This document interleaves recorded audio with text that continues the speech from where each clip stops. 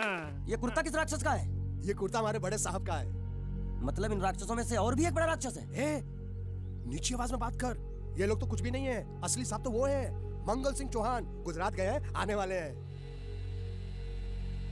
Hello hello पेट में खाड़ो पुरवा hello. क्या? खाड़ो? मैं खाड़ो नहीं खोदूँगा। नथी थोड़ी बहुत गुजराती मुझे भी आती है। नहीं जम्मू? नहीं जम्मू।